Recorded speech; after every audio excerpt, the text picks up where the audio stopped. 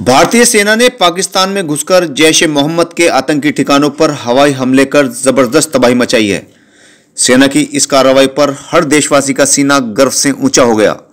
विश्व हिंदू परिषद, बजरंग दल, बीजेपी कार्यकर्ता और कुछ पत्रकारों ने खुशी मनाते हुए सेना का मनोबल बढ़ाया।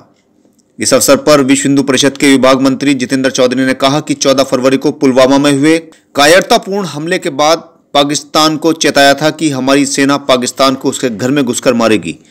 आज सेना ने ठीक उसी के अनुरूप अपने मिशन को अंजाम देते हुए पाकिस्तान में भारी तबाही मचाकर हर देशवासी का सिर गर्व से ऊँचा कर दिया।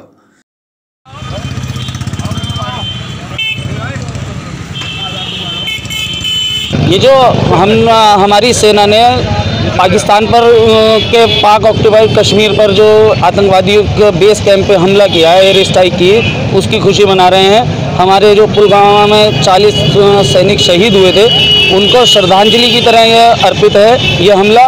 और मुझे अपने देश के नेतृत्व पर प्रधानमंत्री जी पर पूरा भरोसा है कि वो इस हमले का जवाब बखूबी देंगे। मैं बीजेपी नगर मंत्री नहटौर शरद जैन आज जो हमारे देश के जवानों का बदला जिस प्रकार जिस प्रकार से हमारी मोदी सरकार व वायुसेना के जवानों ने वीरता का परिचय देते हुए अपने देश का जो बदला लिया गया है, वो काफ़ी सराहनीय है।